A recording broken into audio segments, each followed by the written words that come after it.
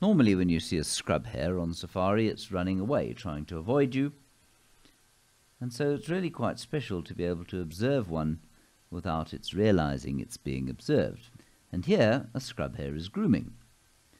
They lie up during the day in something called a form, which is a depression or shallow nest made in some thick grass or under a bush, and no doubt their bodies are covered in ticks at the end of a day of rest.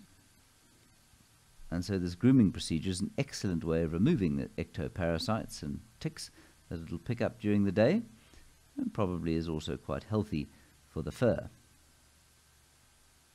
And the scrub hare is a solitary creature, for the most part, and therefore must do all of its own grooming, unlike in many social species, when there is allo grooming, which can be useful for those hard to reach areas, such as behind the back of the head.